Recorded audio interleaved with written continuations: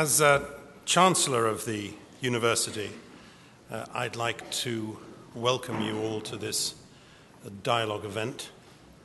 Uh, it's exactly the sort of debate which a great university should promote.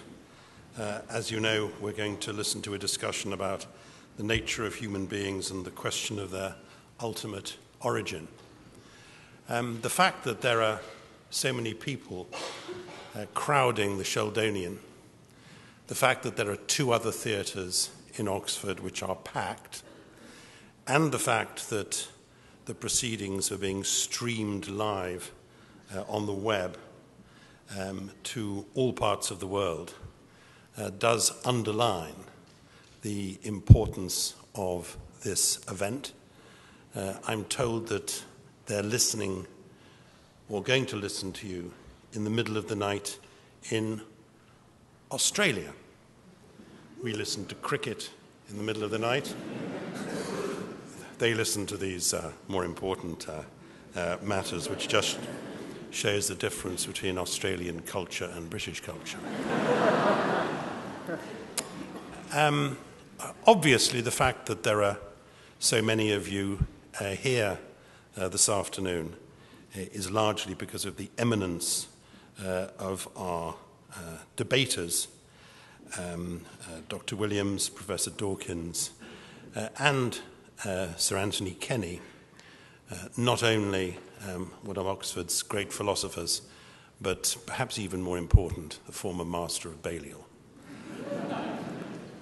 Um, uh, it is wonderful that uh, uh, both Dr. Williams and Professor Dawkins, who of course have been associated with the university as, as uh, teachers and scholars uh, over the years, have uh, come to Oxford uh, this afternoon, have come to the Sheldonian for this debate, so we're tremendously grateful to you.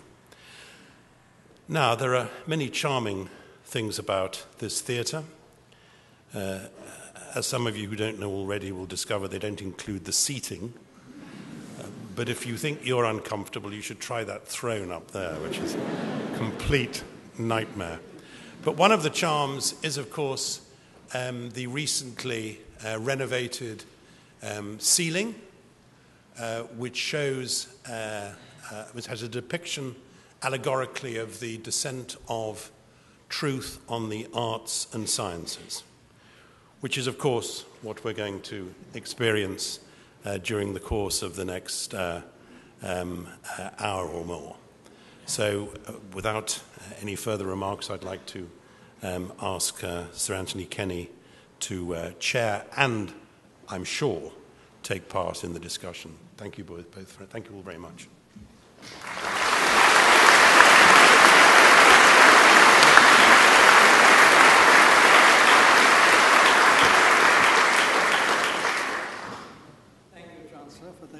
Kind words. Um, I'd like to make a few housekeeping remarks uh, initially. Uh, the discussion uh, will last until 5.30, but it will end uh, quite promptly. Um, we are um, all agreed uh, that we would prefer there to be no applause, please, until, if you feel like it, at the very end. Um, a number of you have been kind enough to submit questions in advance. Uh, questions have been circulated to the three of us. Uh, and uh, what will happen is that if at a suitable point in the debate it appears to one or other of us that a question is particularly apposite, we will then read it from the cards which have been provided. Uh, I'm sure we all have cards in our own hands, but it's nice to have these trumps which have been uh, supplied. uh, we are each going to make a brief introductory statement of our position, and then the discussion uh, will, we hope, flow freely. The topic is the nature of human beings and the question of their ultimate origins. And we're going to take this pretty substantial question uh, in four stages. First of all, the nature of individual human beings now, of all of us. Uh, secondly, the origin of the human species as a whole. Thirdly, the origin of life on Earth. And finally, the origin of the universe. I think that should keep us going probably until 30. We will be, as it were, tracing our ancestry backwards. Um, neither of my fellow symposiasts need any introduction from me, but I'd like very briefly to introduce myself and say why I am sitting between these two protagonists. Um, I'm uh, myself a philosopher, uh, and I'm an agnostic about the existence of God. I don't know whether there's a God or not. I'm open to persuasion, either way. Uh, I'm flanked by two people who claim to know the answer to the question I don't know the answer to. So I sit here as a representative of ignorance. Uh, Archbishop, may I ask you to introduce yourself? As well as being Archbishop of Canterbury, um, I've, over my career, taught theology and some philosophy in universities, particularly in this university and in Cambridge. Um, I have a long standing interest in the history of theology and the history of what we rather unhelpfully call spirituality, that is, how Christians pray and understand their praying, and also a long standing interest in the arts in general, and literature and drama and poetry in particular. So some of that will probably creep into what I say later. Do I say any more at this stage about the, the subject matter? Uh, perhaps, yes, yes I think. Well, let me then, um, to kick things off, venture a sort of definition. Human beings, it seems, are the only bit of the universe we know about that talks about the universe. The only bit of the universe we know about that seeks to represent the universe and makes claims about truth telling. And because of that, we, as part of that universe, are able to affect the ongoing life of the universe in certain ways, some of which we understand clearly and some of which we don't understand at all clearly. There is in our understanding and our knowing an element of what you might call feedback into the life of the universe. And I guess that one of the things we might want to talk about is what kind of difference it is that human beings make, the nature of the freedom we exercise, or independence, within that universal order. But within that, I would say human beings as language users have a particularly powerful central role, and that's a question to our understanding why and how do we use language? the relation of language and consciousness in this making a difference to the environment we share. It's not a matter of absolute discontinuity with the animal world around us, far from it. But if we are looking for distinctives, this seems to be the area where we look. And just to conclude a very brief position placement, it does seem that we live in a universe which, while we would all have difficulties, I suspect, with calling it anthropocentric is anthropogenic. It's the kind of universe that has produced conscious language using subjects, that is, us. And part of what we're looking at today is exactly how we understand that, whether there is a question we can answer about the origins of such subjects in the universe. So I think I'll leave it there. Thank you. Well, first, I'd like to say what a privilege it is to be uh, discussing with Archbishop Williams. Um, I was very interested in, in the way you began, and um, it reminded me of two things which Julian Huxley said. Uh, one was evolution has become conscious of itself, and he meant in humanity. And the other is a poem that he wrote uh, which I can't remember all of it, but um, it, it begins The world of things entered your infant mind to populate that crystal cabinet. And I think that resonates with what you were saying, Archbishop, about the, the uniqueness, as far as we know, of humanity as being capable of, as I would put it, getting a model of the universe inside our heads. And I, no doubt we'll come back to this, to this idea. I think it's extremely interesting. Um, I was singing to myself in the shower this morning, and I, found, I realized that it was a, a hymn. I'm a, I'm a cultural Anglican. Um, I'm not going to sing it now. I, I will, I will just, um, say, I, I, will just say it. Um, it. it's, it's a hymn that we probably all know. Um, it is a thing most wonderful, almost too wonderful to be.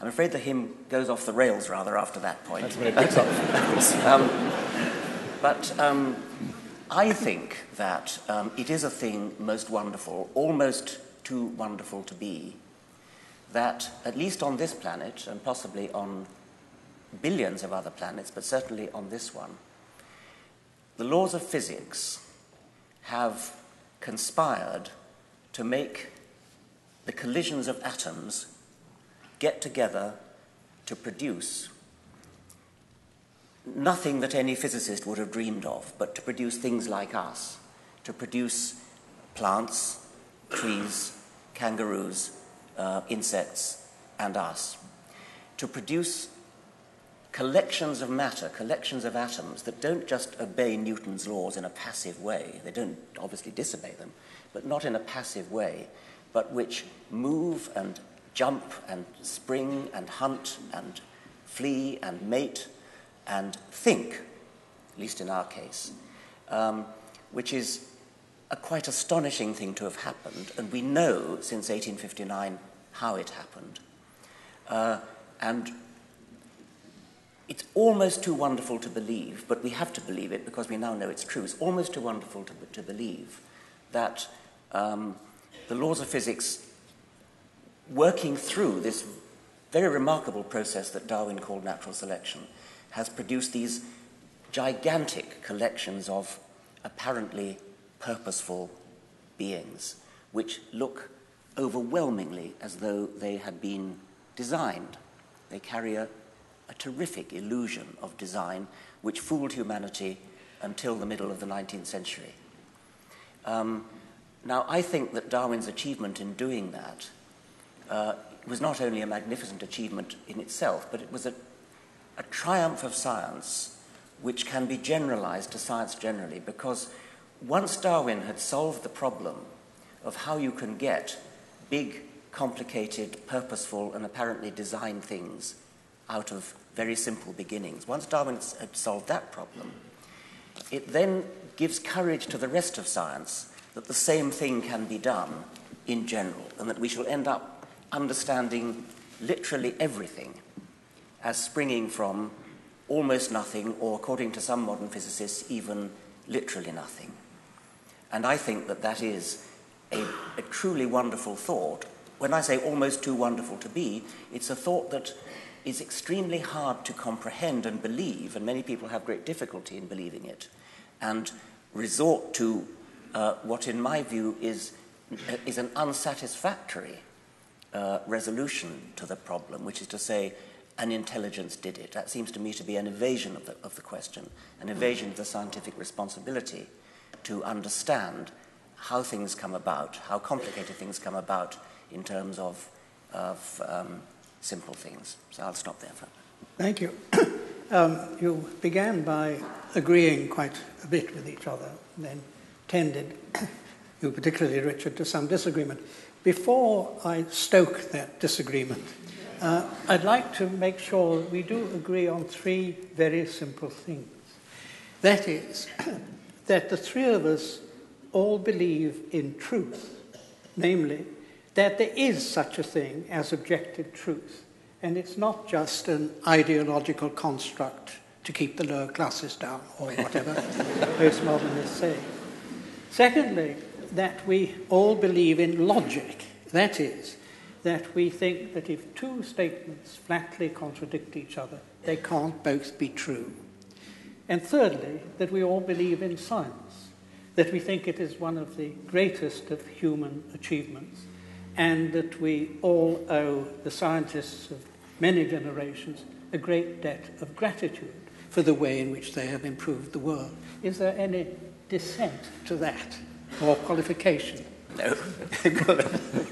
now, can I um, suggest a, a, line of disagreement or uh, ask for clarification of what you said?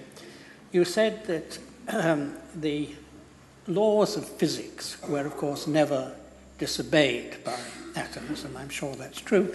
You also said the laws of physics have created us. Now, it seems to me that there are two different things there. There's um, nobody is going to say that the laws of physics are being regularly broken. But that doesn't say that the laws of physics alone determine what happens. In a game of chess, nobody breaks the rules, but the rules of chess do not dictate the game. That, of course, is absolutely true, and uh, the equivalent of the um, of the rules of chess would be um, natural selection, the process of random variation, random change in the genetic codes, uh, followed by non random natural selection. And it is the non random process of natural selection filtering the random input from mutation, uh, which ultimately creates uh, living things. So um, the laws of physics are being obeyed all the time at the at the lowest level. And the complexity is the same sort of complexity as when you play chess, when a computer plays chess, um, when a computer does anything for that matter. I mean, computers are only machines in which electrons are whizzing around obeying the laws of physics. But um, the, the, the, layers of complexity on top of that, the layers of software complexity, um, produce the ability to play chess or do a spreadsheet or, or, or, or whatever it is. And that, that's where one of my questions comes in. You spoke about how Darwinian selection offers a, a complete explanation of how we are here and why we're here. Darwin doesn't seem to me to have very much to say that helps with the problem of consciousness, which both philosophically and scientifically remains an enormous area, which I don't see very much advance in, in the scientific explanation of. And one of the things which makes me wary of simply saying we have recourse to the laws of physics and that's it, is the question of consciousness. What is it that grounds the, the first person perspective, which we are currently sharing yeah. in this discussion? I agree that that is deeply mysterious. Um, as a materialist, I suppose I'm committed to the view that consciousness is something that emerges from brains, within, within brains. Um, nobody understands how, and I regard that as one of the problems for the future. Uh, and uh, I think it will be solved eventually by a combination of neuroscience and computer science, probably. Um, what I would say is that it, when one identifies a problem that science has, such, such as consciousness, and says, um, we don't yet understand X, and it happens to be consciousness in this case, um, then we should remain agnostic, as Sir Anthony has said, uh, what we shouldn't do is immediately jump to, I don't understand it, therefore it must have something to do with God. And, and, so, yeah. and I'm not suggesting that yeah. we, we buy in God to get us a, right. a cheap get out of jail card on consciousness. But what I am interested in is what it means to say that this is the kind of universe in which consciousness will happen given these, these coordinates. Because it seems to me that the question is not, is there some point at which God interferes to say, let there be consciousness. The question is, does an entire universe, a system of physical law which produces something not obviously physical, does that require some context of intelligence that is not simply the intelligence of one finite? I think that's the question we're going to be discussing in our fourth stage, right, the origin of the universe. I'll back so, off. So, uh, uh, without leaping straight to God, uh, can I ask about the soul? Uh, consciousness uh, is something we share with animals. Uh, a lot of the higher animals are, are, are conscious too. So, uh, uh, if we're talking about something special to human mm-hmm. beings, I think it isn't consciousness. But uh, many people have thought that human beings have special souls, souls which are different from any animal psychic organism, and souls which are immortal. Can I ask if you think that is correct? I'd want to go in between those two um, poles of consciousness as an obvious fact about animal life and something called the soul, and ask about self consciousness, about the capacity of human beings to tell stories about themselves. We are beings who tell ourselves about ourselves, ask questions about ourselves. St. Augustine saying, I have become a question to myself as a definition of the life of human spirit. We tell jokes, we fantasize, we empathize, we even pray. Um, all of that is an activity of self reflexive consciousness in a way which doesn't seem to, to fit at the, the animal level. And that seems to me to have something to do with the fact that some of us believe we are capable of a relationship with that unconditional creative energy that we call God. And all of those things about our self awareness, about our self questioning, have their home in the context of material beings who are nonetheless capable of that sort of relation. So I'm, I'm wary of talking about a soul as if it were, as in the cartoons, you know, a rather ghostly form of the body that sort of flies away into the middle distance. And I'm happier with tradition you'll be very familiar with, talking about the soul as the form of the body. This is, this is how this particular kind of material being has meaning, has communicative and self communicative capacity. And is this capacity for self consciousness the Aristotelian type of soul, is that created by God in each individual, or is it inherited from the individual's parents? I don't believe it's created directly by God, as, as if there, there is a, a list in heaven that God ticks off, sending you know, people down in, mm-hmm.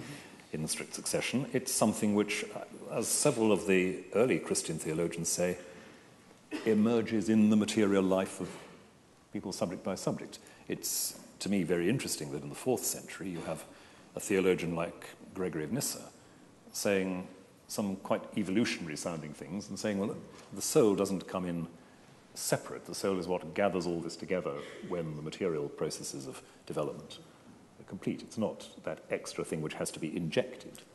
Do you believe in a soul? Well, I think, I think that um, consciousness, that phrase gathering, gathering together, is, is possibly quite insightful about what actually happens about, about consciousness in the development of, of, a, ba- of a baby. And, and I think that it's quite, there's been quite good suggestions that a, that a baby is a sort of uh, mixture of an assortment of different semi individuals who gradually fuse themselves together to become what we think of as our individuality, as our as our conscious self. And I think there are some philosophers who feel that consciousness should be seen as a kind of illusion um, to, to bring together all the different aspects of our, of our mind. But I, I thought, Archbishop, you didn't really answer what Sir Anthony was asking because he, he wanted to know whether you believe the soul survives death. And, and, um, didn't actually ask me that, but I'm quite happy to come no, to it. I, I, thought you did, did uh, at, at, the very beginning, but you're, you're quite right, I didn't in the last minute, but please answer.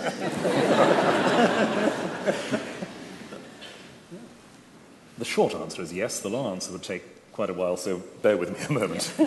Um, what it is that we develop in self consciousness, in relationship to others and to God, is, for myself as a Christian, something which does not simply cease on material death. What it means that it doesn't cease, what it is for that relationship with God to advance, blossom, come home, I have no idea. I have a number of images, but no idea. And the confidence that I, as a Christian, have about that is not the belief that there's something in me that will survive. It's a belief in the kind of God who does not terminate the relationship initiated from God's side as I develop and grow. But could, could I just come back very briefly on, on one, of, um, one of your phrases about um, consciousness as an illusion? Yes. I, I've come across this sort of language, and I have to say it baffles me rather. Yes. Because if consciousness is an illusion, what isn't? I mean, the, the concept of an illusion presupposes that there is yeah, that's, a that's, that's correct fair enough, yes. That's way of that's fair perceiving. Enough, yeah. And I find that there's a lot of that slippage going on in some of the writing in this area um, consciousness is a mistake. But to talk about mistakes, we have to have a framework in which it makes sense to distinguish between a mistake and a correct observation. Consciousness is an illusion, but we need, therefore, a distinction between illusion and correct perception, or even, I could go on, but you, you see the point. Yes. And to say that consciousness is something emerging to resolve the problems, if you like, of a discrete ETE perception is not quite the same as saying it's an illusion, or to say with Daniel Dennett that uh, there is no evidence for consciousness. I scratch Yes. my head Um, profoundly of that one. I have a colleague who, who um, when one gets into this argument and, and they get, come to the point where one says, well, we don't actually have any evidence that any of the rest of us are con- maybe I'm the only one, only one who is, and so on. Um, and he, he finishes the conversation by saying, I'm not conscious. the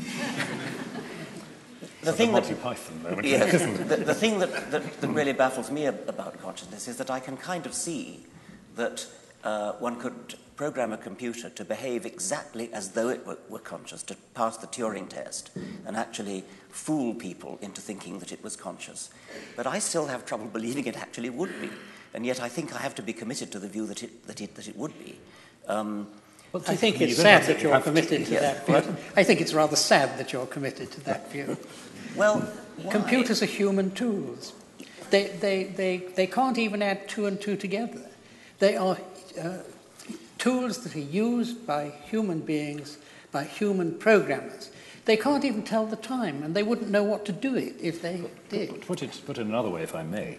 Um, computers are, and I am a scientific illiterate here, computers are binary systems, essentially, aren't they? That, that's what Uh, they work at, on. the, at bottom they are, yes, but that may not be a very helpful way to No, put it. but if, if they are fundamentally binary systems, does that mean that the, the way the human mind operates is invariably and always reducibly binary, or are there other? Oh no, um, it's just a it's just a technical convenience that they're that they're binary. I mean, what, what matters is the software, which it, which builds upon the the binary events that are going on at the base. But then the question is, isn't it, whether the binary-based system of a computer can, given its dependence on input, given its dependence on certain fixed processes, whether it could move towards a state that was not, like our, our minds, able to operate in a non-binary. Uh, No, I think I think it's a red herring with the, the binary. I mean, you could you could have a quaternary computer or a, or an octal computer. I mean, it, it's just accidental that it happens to be an engineering convenience that computers are, are, are binary. Once you get into the realm of, of software, you can forget about there being binary. And, Perhaps I could follow up Rowan's point by asking uh, whether you think a computer has free will and whether you think human beings have free will. Well, I think free will is a, is a difficult qu- question, and I don't think computers have, have free will in the sense that I, that I do think that, that everything that happens in a computer is predetermined mm-hmm. by events in, in, mm-hmm. the, in, the, in the world, in, in, mostly in, inside the computer itself. Um, so, in that sense, computers don't have free will, but in that sense, we probably don't either. Uh, I'm interested you say that because a lot of people misunderstood your first book, The Selfish Gene, uh, to say that you believed in gene determinism, that everything was determined for us by our genes and therefore we didn't have free will. In your second book, uh, The uh, Extended Phenotype, you took great pains to explain that you were not a gene determinist. Yes. Well, usually not being a determinist includes believing in free will. No, no. Um, the, the emphasis should be on the word gene. Um, I'm not a genetic determinist in the sense that some people thought that I was saying that it's genes that make us what we are. Um, whereas all, all I was saying is that it's genes that are the fundamental unit of natural selection, which is a very different matter. Um, you can be a determinist without being a genetic determinist. You can be a determinist who believes that, that events in the, in the world, events in the universe, come together to produce everything that happens afterwards, including us and including what we do. Um, but that's very different. I mean, genetic determinism is a much more specific and, and less philosophical problem. Does it, does it mean that in principle every decision is predictable? Well, that, that's, what a, that's what a determinist What would a determinist say. would yes. say. Is Um, it what you say? Um, I, I, I, hesitate a little bit because of quantum indeterminacy, mm-hmm. um, but um, I, I, I, don't think that you can get away from determinism by postulating a, a ghost inside which, which takes decisions um, which are somehow independent of physical reality. Oh, I, I don't think that believing free will commits you to a ghost taking decisions independent of physical reality. But if, and I'd like to come back to this, if the distinction between absolutely inert stuff and mind is not quite where it's frequently been thought to lie, if the universe doesn't just break down into sort of ghostly stuff and hard stuff, then um, a decision is not something which some independent homunculus inside me makes, never mind what happens. It is something that emerges from a set of physical conditions not wholly determined, but innovating and thereby well, making a difference. I mean, they, Therefore not they could be wholly determined, um, but, but you would have the illusion of, of, of, of freedom. I mean, there, there, are, there are... How would you tell the difference? Well, there are, there, are, there, there are neurological um, experiments where people have measured brain oh, states. yes, yes. I, I, um, well, I'll just finish because other people may not... Uh, sorry, sorry. um, there, there, there, are neuro- neurological experiments in which um, uh, people make decisions like just reaching out for a glass, or at some mo- moment you have to reach out. Um, and they think that, that I, I think that I take the decision now.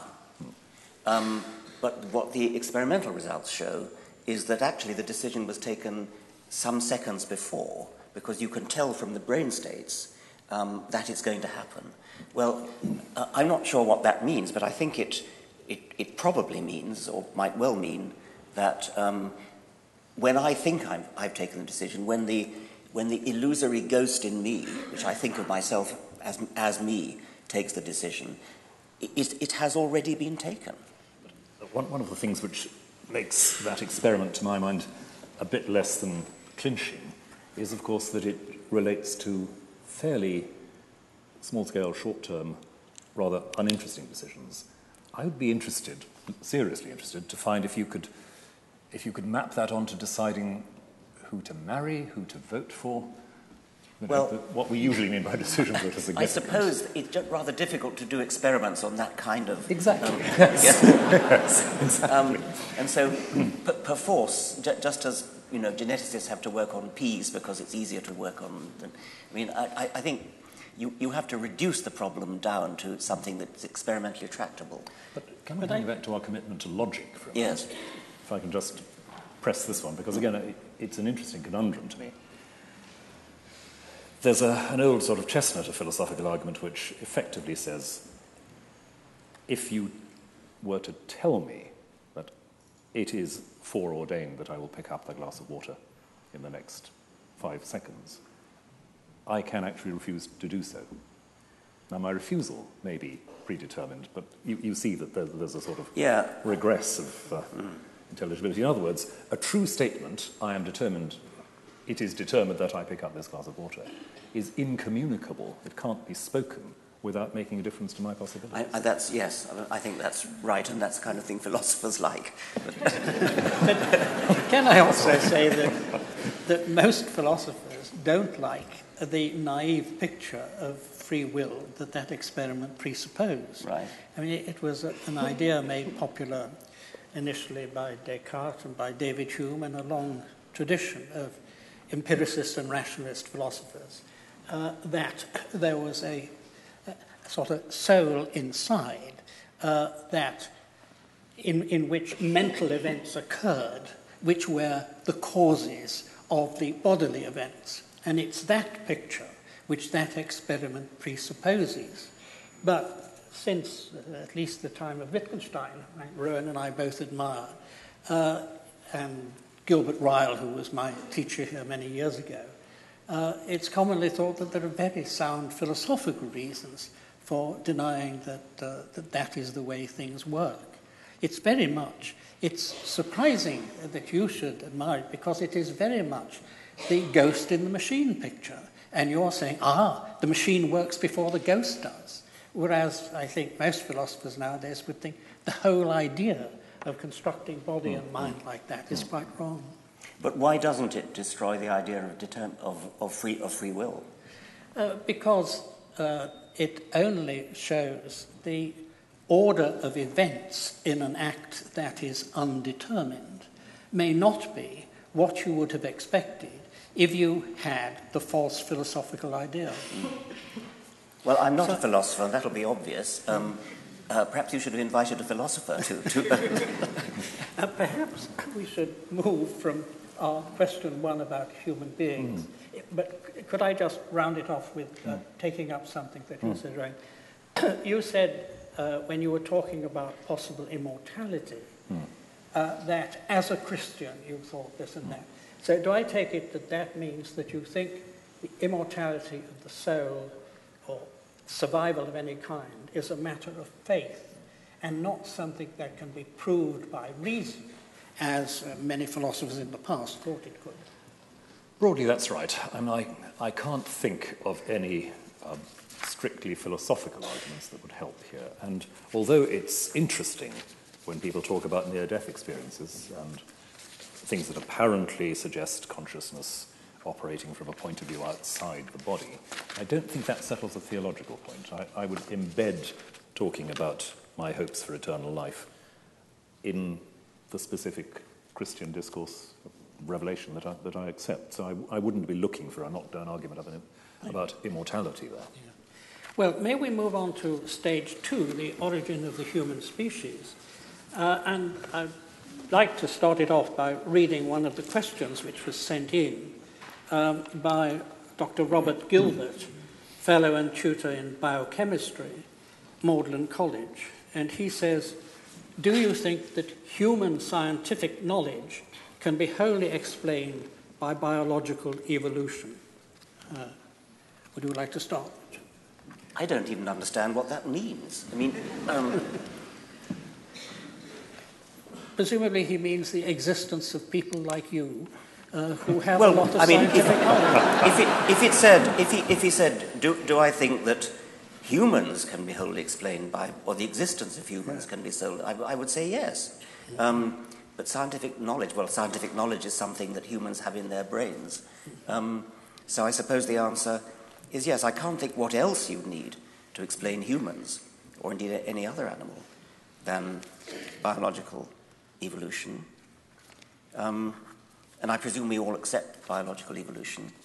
Yes. I'd, I'd guess that the question might be about some of what we've just been talking about, consciousness and so forth, the, the yes. capacity of uh, a materially based mental system to represent accurately or adequately, in some, some sense, the structure of the universe. Is that something which biological evolution, in a strict sense, can?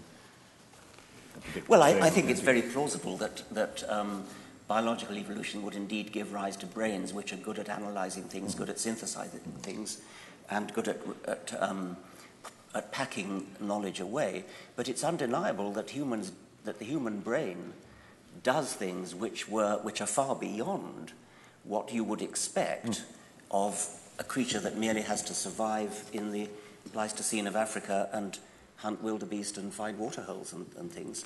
So there, there are strong emergent properties in the human mind, which um, uh, arise presumably because in order to build a brain that is good at surviving in a certain way in a, in a mundane world, it's rather hard to build that brain which is not automatically capable of doing more advanced things, such as mathematics and philosophy, um, so in rather the same way as, as computers were originally designed as calculating machines. Hmm.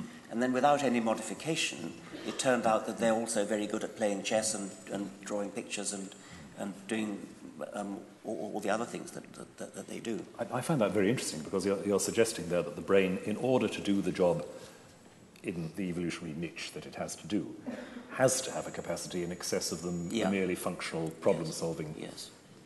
niche yes. based. Yes.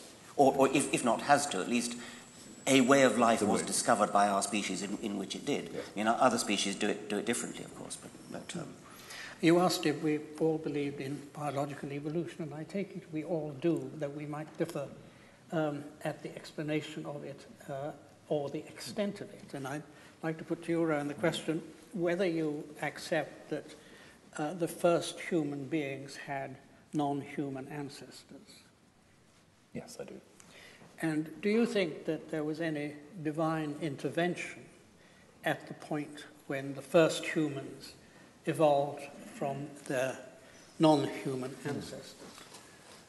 Well, I think there's, from where I start, there has to be a point in the story at which the proto human becomes conscious of what I'll call in shorthand a call from God or an address from God. Again, I'm, I'm wary of saying God somehow bends down and tinkers with the machinery, but that there is a point, if you like, implicit in the whole process from the beginning, a point at which it will be possible for that proto human to be conscious in another way, including the consciousness of the divine. And that, I would say, is, is the beginning of what I would regard as humanity in the image of God.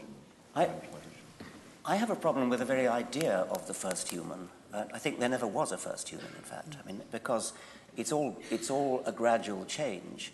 And um, I mean, would, perhaps I could No, no. ask Archbishop, I mean, do, do you think there was a moment when, as it were, the last Homo erectus parents looked down fondly at their baby, which was the first Homo sapiens? um, uh, I mean, I, I suspect the Pope probably does think that because he actually thinks that God did intervene and, and inject a soul. I'll, ask him sometime. but, Yes. um, I think that I think you're right that saying that there is a first human being, in a simple sense, is, is problematic on all sorts of levels. But the point at which I would want to begin to call such a being recognizably human, put it the other way around if you like, is the point at which I would see that evidence of a self awareness and God awareness. Now, I, I haven't access to that. I don't know what what was going on in the mind of the Homo erectus, Homo sapiens crossover period. But that's what I would have to say. Don't you think that that self-awareness it might itself have been a gradual sort of em- emerging thing rather than a sudden? Um, I mean, you know, people do experiments on chimpanzees, which they call self-awareness experiments, where they put lipstick on the, on the on the cheek or something and see whether the chimpanzee, when it looks in a mirror, says, "Ah, that must be me," and, and starts to. Well, that's one attempt that experimental psychologists have made to uh, to investigate self-awareness. Um, I should have thought there is self-awareness way, way, way before you would even start to call it human. I, I don't. Sorry. Sorry. Uh, I was going to ask uh, about this blurring between the two. Uh, does that mean that, that there is not a point when a new species emerges? I think so, yes. I mean, there, there may in some, in some special cases be a macro-mutational step where, and, uh, this happens in plants especially, where, where a new species just suddenly comes into existence and is instantly um, incapable of, of interbreeding with the old, old one. But in, in animals, I think generally it's not the case that there is a sudden m- moment when a new species comes into existence. So there's Um, going to be happy interbreeding between not quite humans Well, and let, just, let's say, just let's, humans. su- suppose we did a thought experiment in which we um, could go in a time machine back to an- anywhere we like in, in history, um, in evolutionary history. Then um, you would only, you would gradually have a fading out of the ability to interbreed as you go further and further back. So if you had, if you did the thought experiment of hopping backwards in, say, um, 100,000 year steps in a time machine, and at each time you land and you take on board one passenger, and you cart that passenger back another 100,000 years, and then you see whether you can interbreed with the chaps that you meet um, when, you, when, you, when, you, when, when, you, when you get there. I'm suggesting that maybe 100,000 is too, too long, maybe 10,000 years. Um, that every 10,000 years stop, the most recent additions to the passenger list will always be capable of interbreeding with the next lot, and probably the next but one. But that there comes a point when the next but, but 10, for example, can't interbreed, and it's, it's a gradual fading out of ability to interbreed. And interbreeding, by the way, of course, is the standard criterion for member, member of the same species. Uh, you, you don't have any problem with language emerging by natural selection? Well, that's very interesting because, um, I mean, language, true, true syntactic language, uh, as opposed to the many um, communication systems yes. that non-human yes, I mean animals have. Mm-hmm. Um, rec- recursive, self-embedded um, uh, syntactic structures. That seems to be uniquely human. Um, and by, I had always sorry, supposed by that- recursive syntactic structures, you mean having words in it like if, not? That's right, yes. Um, um, the, the adjective noun or the adjective noun, which Yeah. adverbly verbed in the verb of the noun, the noun, and all that sort of, um, which, which no other species can do. Um, now, there is some very interesting evidence that um, I think there are two or three genes, I've forgotten what they're called, uh, which have mutated so that they're different in, in us from chimpanzees. There are lots of other genes that are, but these particular ones are of great interest because when humans, mutated humans, mutant humans who have reverted back to the chimpanzee state, can't talk. And so the suggestion is that what was required for language to evolve in, in humans was that at some point, this could have been a rather sudden moment when a particular mutation occurred, um, which uh, enabled humans to, um, to use recursive syn- syntax. And if that were true, it would be a, a remarkable example of a, a sort of major step in, in ev- I mean, there really could have been a, a moment when the child could talk and the parents couldn't. It's a problem who the child talked to, of course.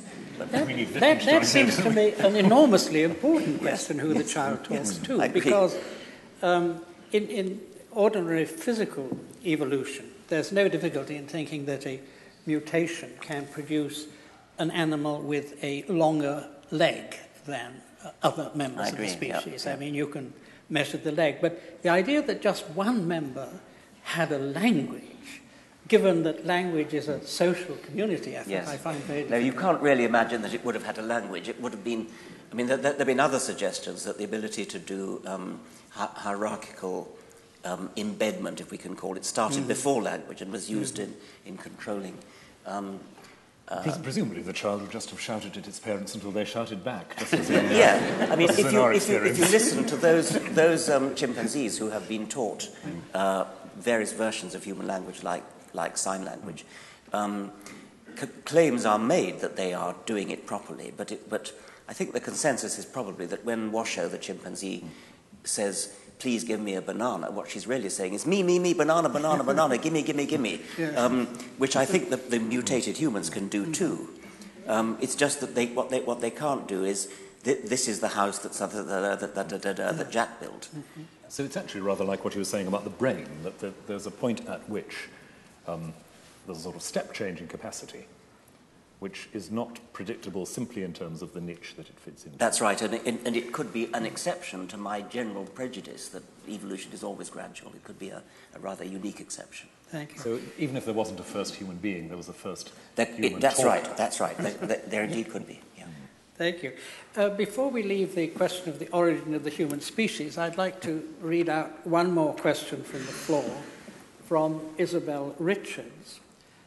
Uh, it goes like this Human beings are immensely imperfect, with so many of our potentialities unrealized. Are these failures of evolution, or are they failures of design?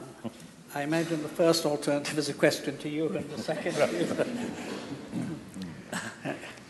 Well, um, there are numerous imperfections in not just the human body, but in, in um, many animal bodies. Um, and they are extremely revealing because they are, um, I mean, they, they, they won't surprise anybody on this platform, but, but to an American fundamentalist creationist, um, they're quite worrying because they're things that no designer could possibly have perpetrated.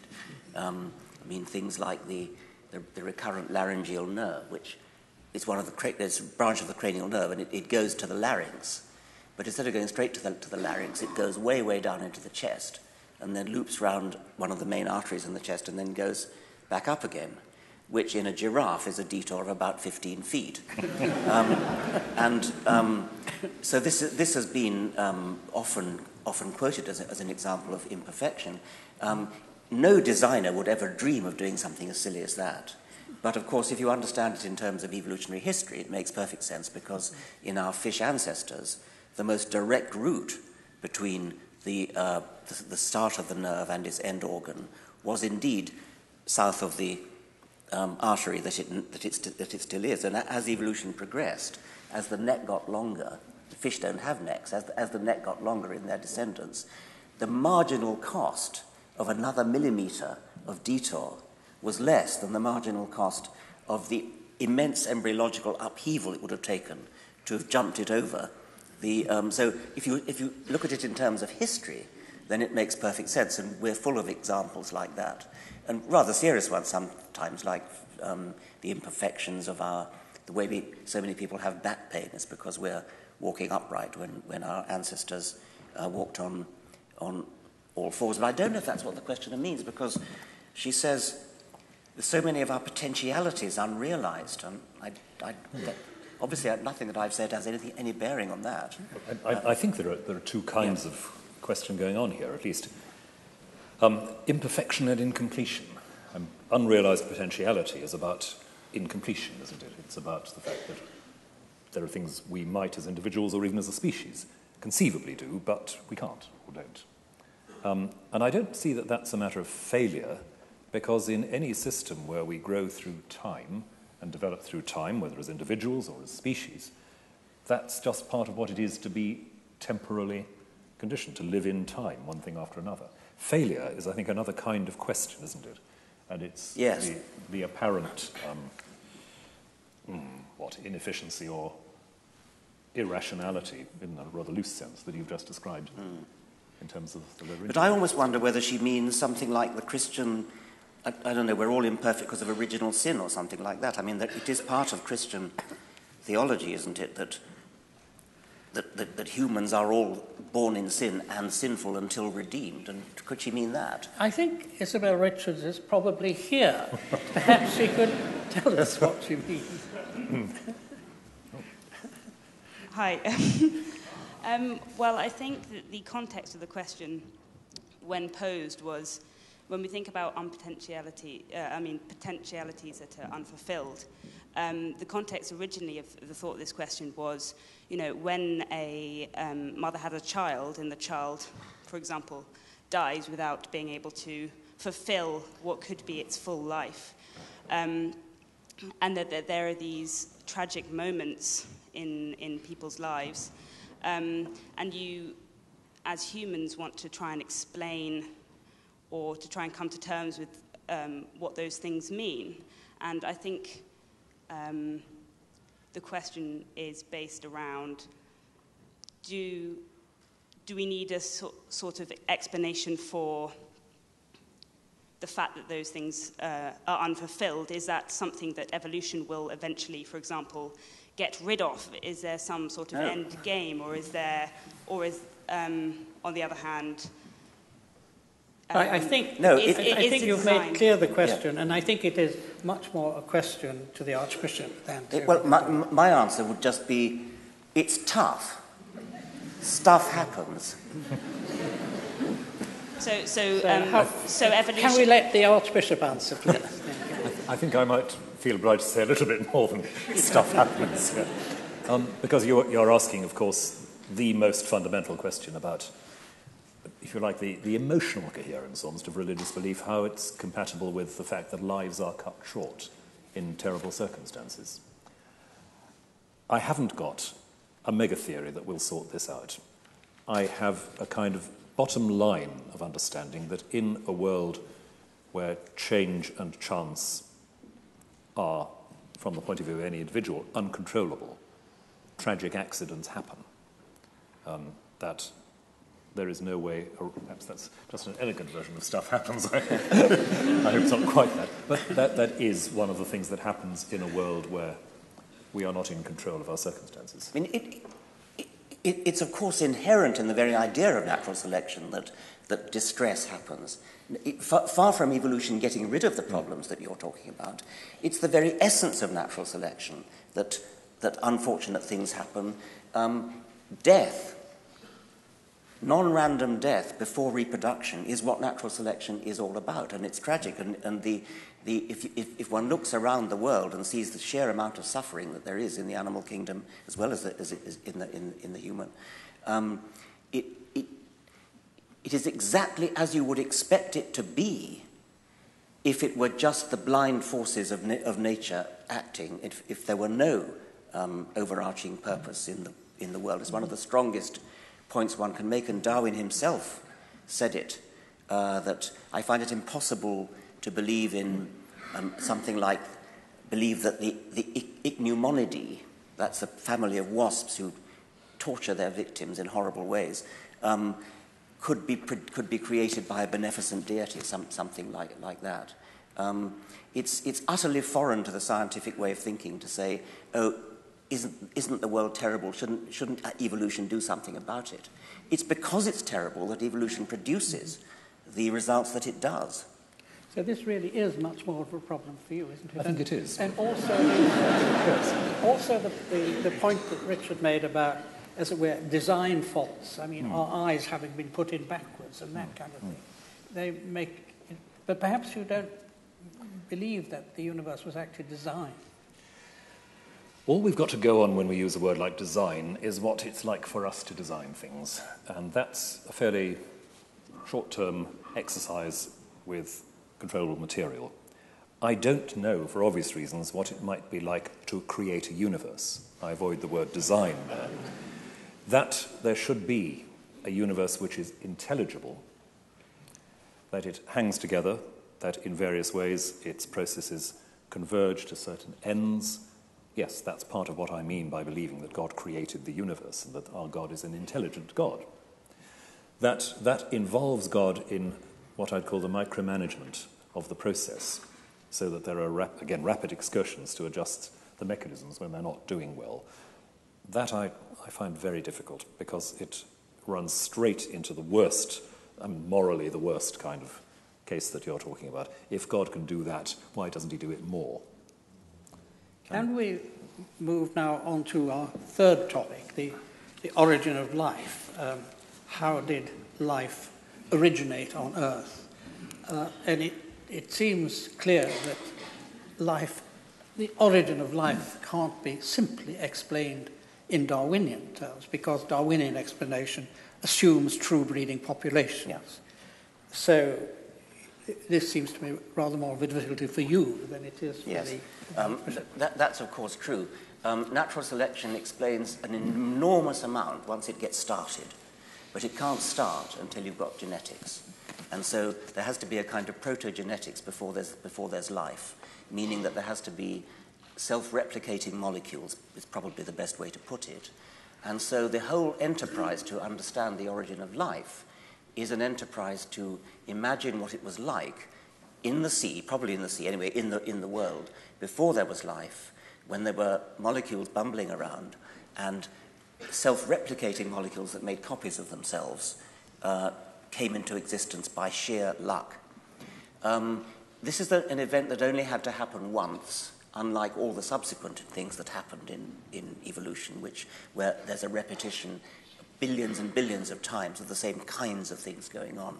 The origin of life would have been I'm not saying it was a unique event, but it, but it doesn't have to be any more than a, a, a unique event. Um, once that happened, then the whole process took off. Nobody knows how it happened. Um, there have been various theories about it, and the currently most fashionable theory is the so called RNA world theory, where the idea is that the original genetic molecule probably wasn't DNA. It almost certainly wasn't DNA. DNA is too complicated.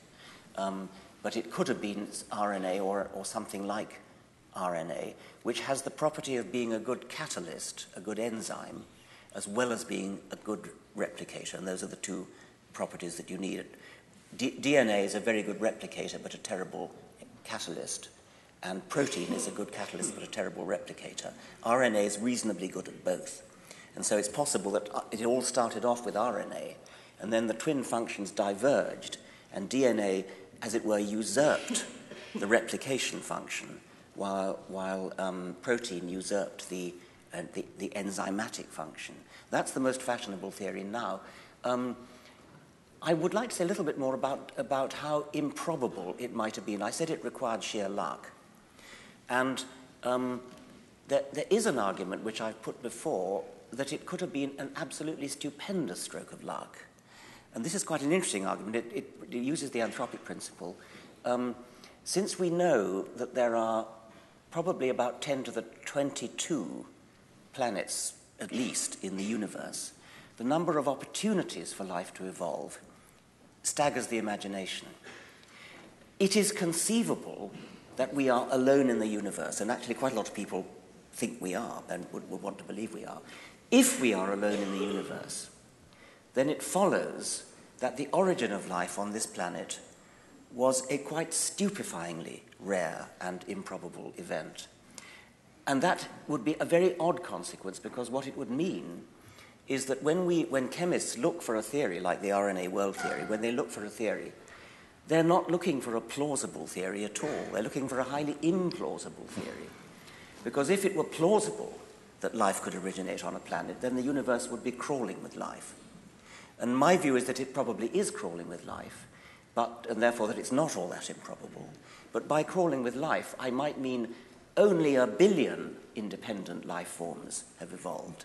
And a billion is such a tiny number compared to the number of planets that there are in the universe that these islands of, of, of life in the universe could be so spread out that they never have any chance of meeting each other or even knowing each other. A, a sort of celestial Polynesia um, with, with, without any canoes to, to them. Yes, yes. Richard, in, in several of your books, you've shown enormous ingenuity in proving that things which seem astronomically improbable are not astronomically improbable. But it seems to be a big step to move from saying that something was not astronomically impossible, so it actually happened. I mean, it's not astronomically impossible that the roof of the Sheldonian should fall on you in a moment's time. But I don't think that means it's going to happen. No, um, but remember that it only has to happen once in the history of, in the history of And it only has to happen on one planet in the universe, and that, this is where the anthropic principle comes in. Could you explain it, to people what the yeah, anthropic if principle it, if, is? If it did, if it's such an improbable event that it happened in only one planet in the, in the universe, then th- that planet has to be this planet, because here we are. And that's, that's the anthropic principle. When you, sorry, when yeah. you say had to be this planet, what kind of necessity are you talking about? I mean, philosophers distinguish between metaphysical necessity and epistemic necessity. Epistemic necessity is the opposite of epistemic possibility. Something is epistemic, epistemically possible if, for all we know, it might be true. But that doesn't mean uh, that, that something is epistemically necessary, therefore means that we know it is true. But that doesn't mean that it was necessary in advance. I think you somewhere give an example yourself um, of somebody who's put before a firing squad uh, of 10 marksmen, um, and they all miss. And people say, well, there must be some explanation for that. And he said, oh, no, it had to be that way because I'm still here. Yes. Um, that the, doesn't seem to be a very good that's, that's, the example of John Leslie, isn't it? yes, it? yes. Um, no, the, the, the, way I was using it, I, I, I, don't, I don't know the words epistemic and, mm. and, and, so on, so I'm not going to use that. But, but um, there are so many planets in, in the universe that we are allowed to postulate a theory of the origin of life which has only a very, very, very low probability of happening. And the reason we're allowed to do that is that we are here on a planet where it manifestly happened. Because we're here, we're thinking about it, we're talking about it. So if it's true, I don't believe for a moment it's true that there's life on only one planet in the universe.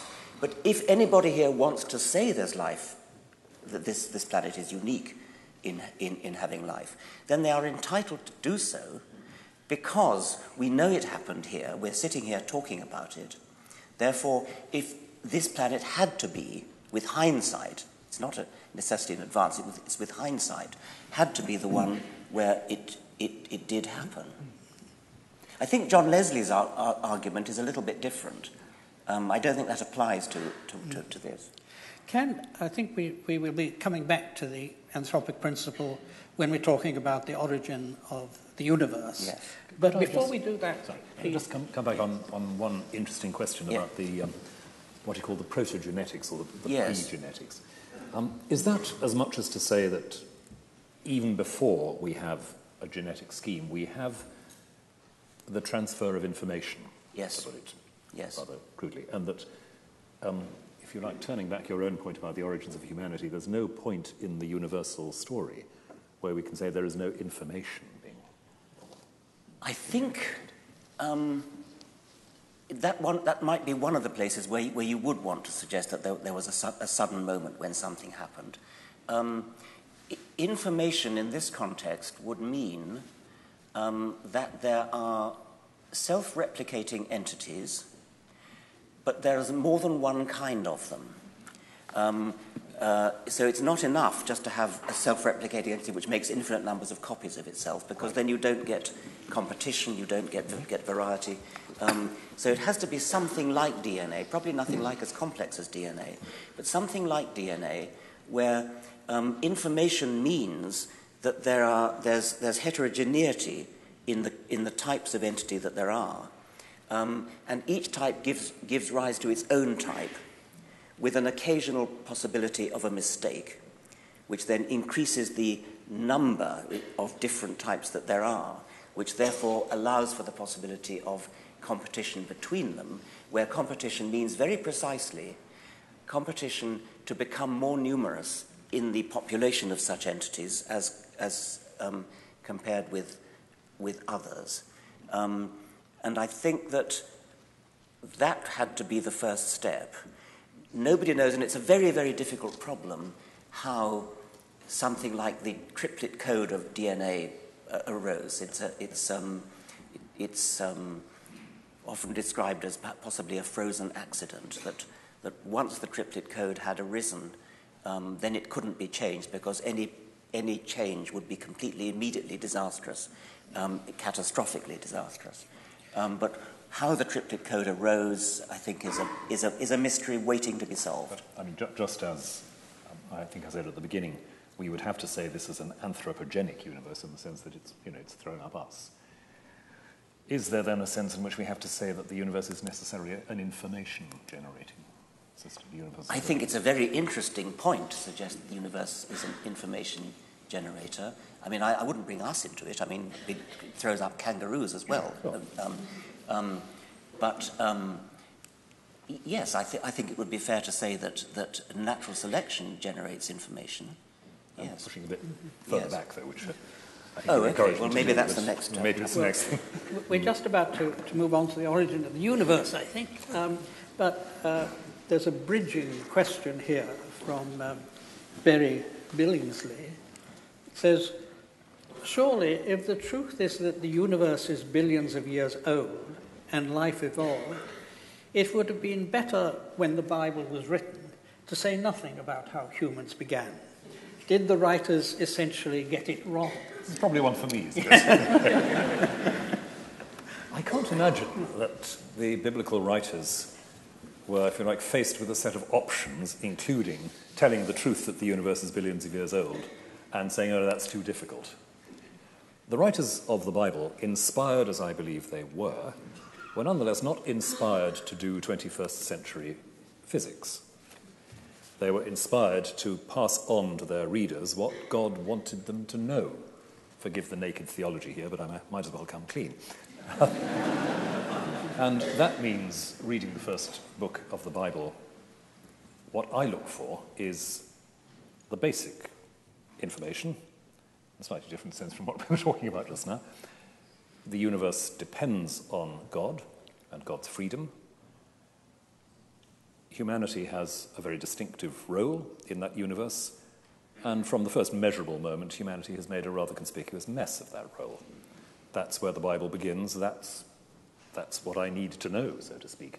And I don't think that um, it makes very much sense to talk about the writers of Scripture getting it wrong in the sense that there was lots of information available and they happened to get on the wrong bits of it.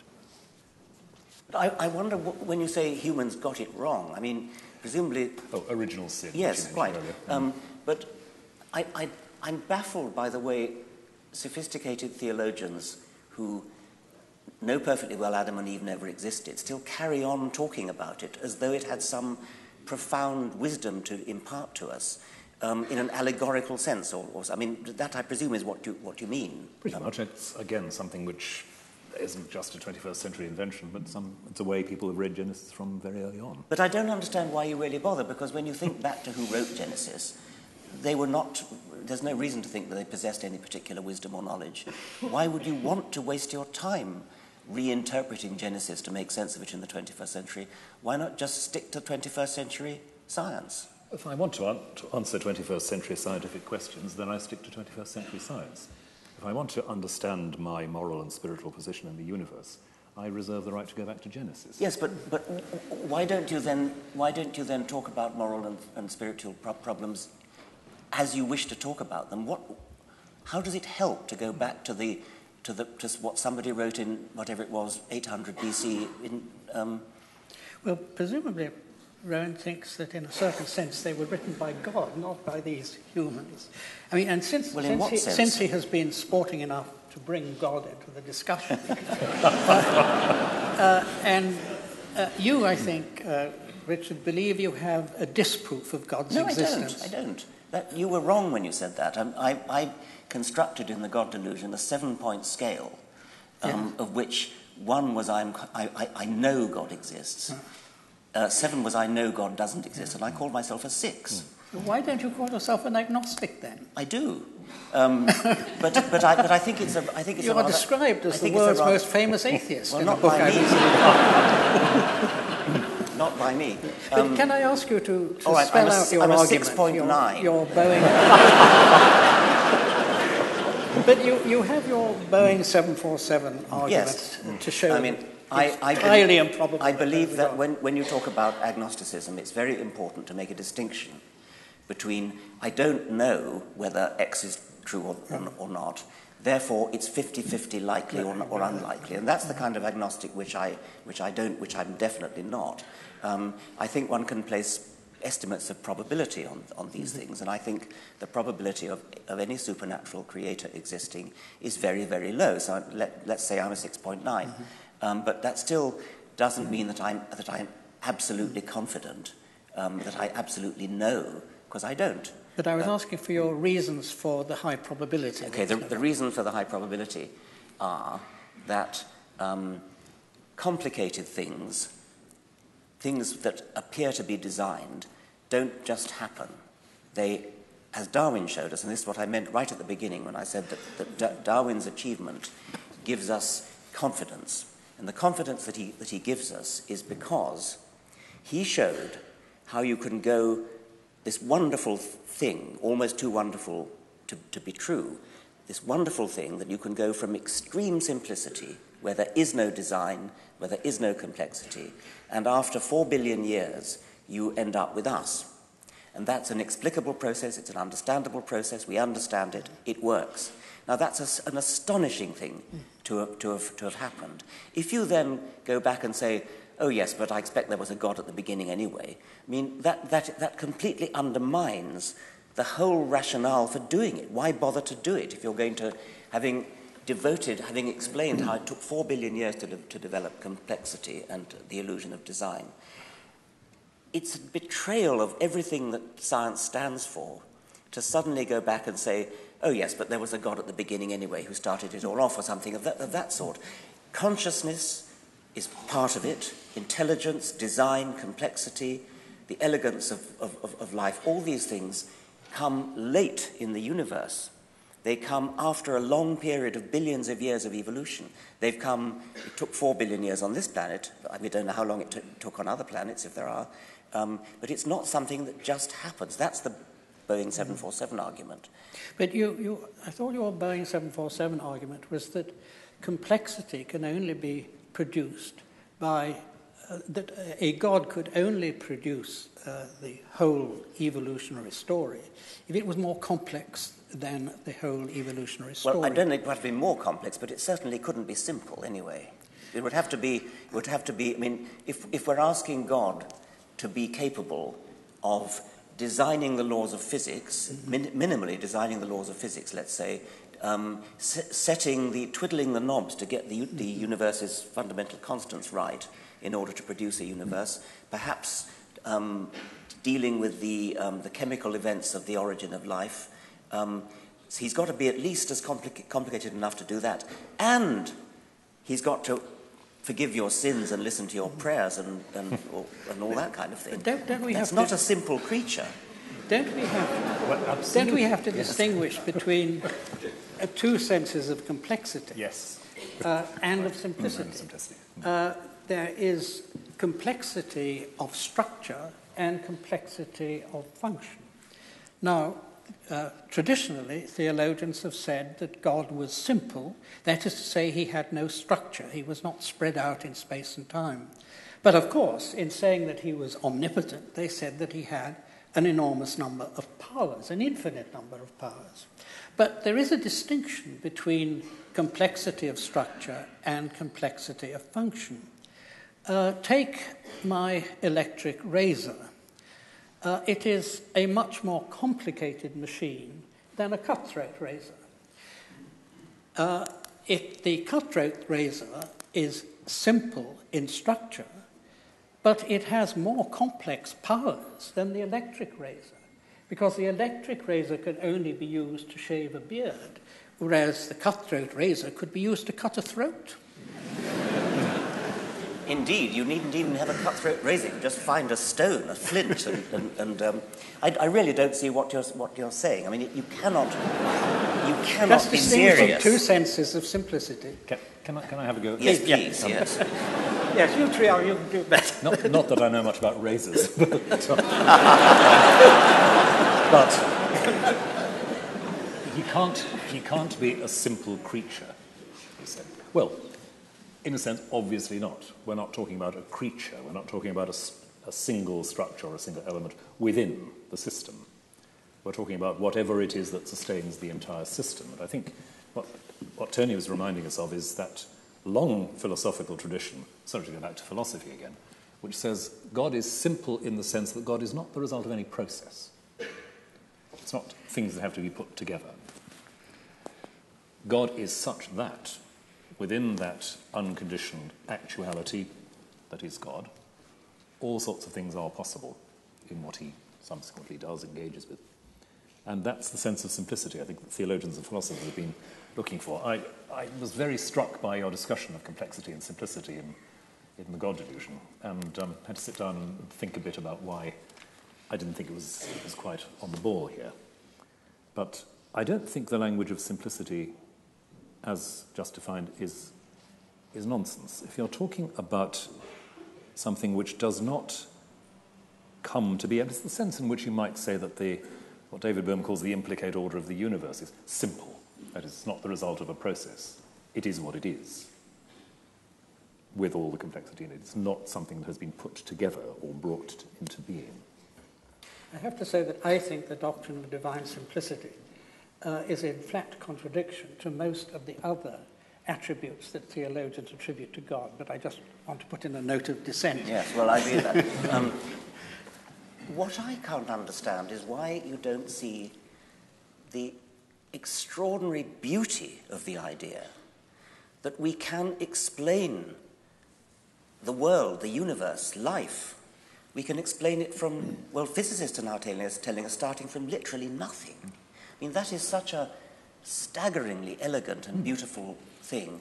Why would you want to clutter up your worldview um, with something so messy as a god? Because the starting from nothing is, is so baffling. Interesting you say clutter, because I, I entirely agree about the elegance and beauty of what you're talking about.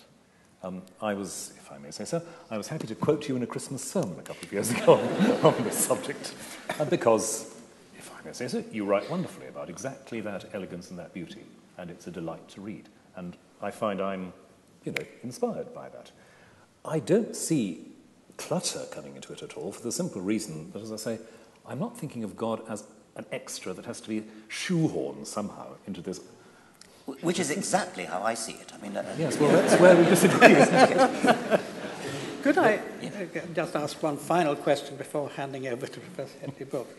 Uh, you it should seem to be uh, attracted by the idea that there may be multiple universes, other, many other universes. And this is at one point uh, something you offer as an explanation of the very uh, striking fact of the cosmological constants being so fine tuned that uh, we are able to live in a universe governed by them. Now, it seems to me that intelligent design on the one hand and multiple universes on the other are exactly on a level. They are both metaphysical hypotheses because these other universes cannot be amenable to scientific investigation.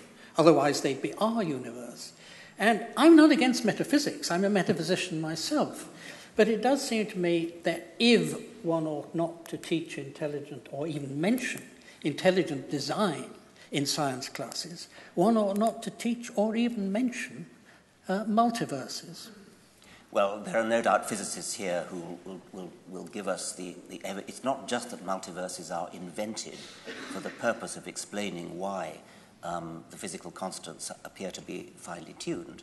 There are other reasons for postulating uh, multiverses. Mm-hmm. It's a kind of uh, analogous situation. I mean, I, I, can deal with the anthropic principle at a planetary level, which is what we were talking about before, where, where we said um, that there are so many billion pla- planets, and therefore we can um, make inferences about the improbability that we are allowed to, to, to, to um, entertain in talking about the origin of life. It's a parallel argument that's used with, with, the, with the multiverse, where the universe that we're in um, appears to be finely tuned according to some views. Not all views, by the way, not all physicists accept that.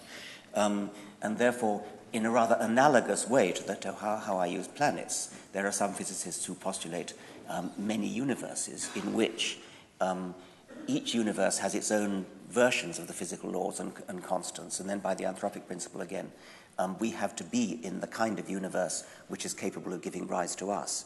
And therefore, it's no surprise that, that, we, that we are.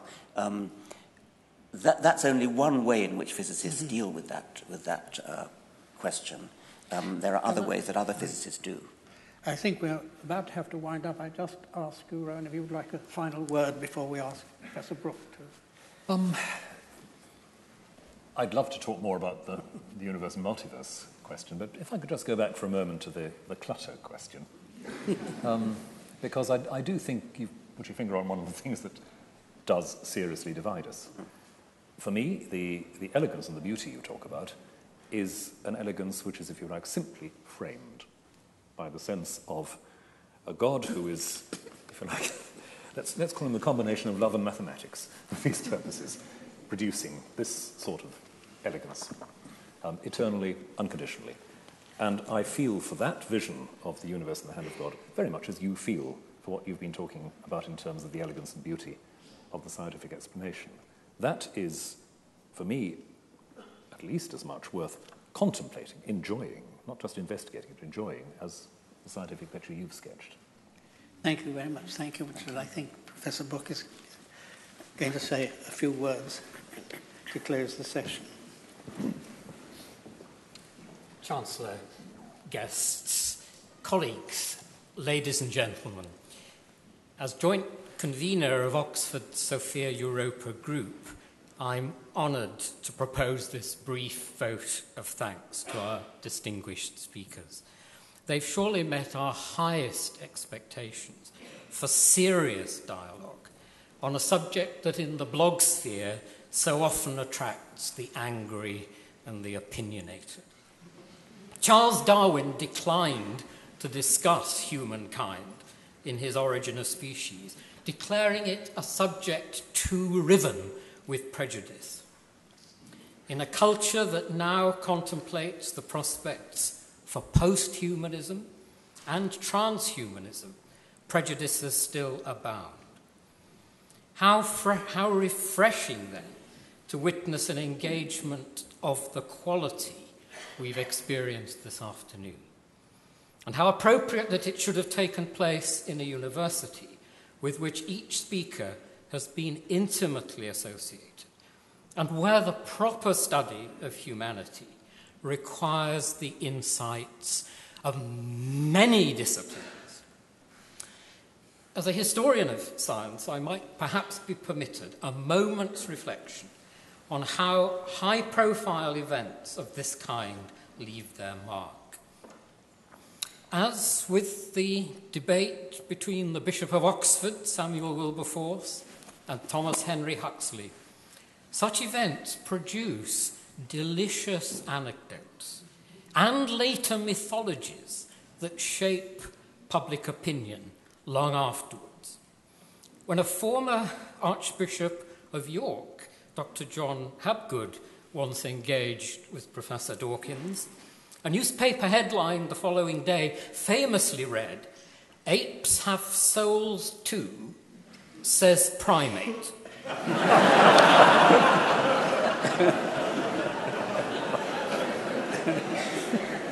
in, in such debates, there can be no easy victories. Of that contretemps between Wilberforce and Huxley, it was reported at the time that each had found a foe worthy of their steel and made their charges and countercharges very much to their own satisfaction and the delight of their respective friends. This afternoon, we've been privileged to hear three interlocutors even more worthy of their steel.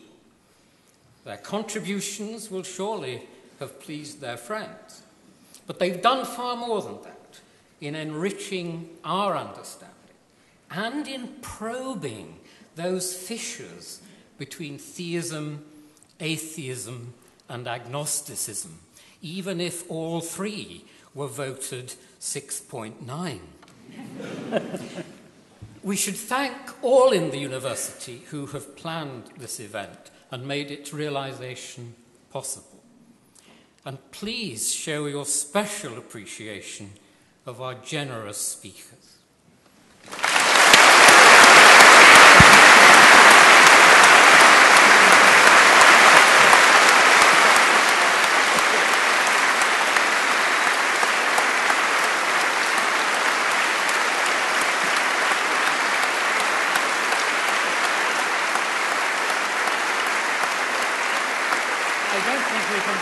I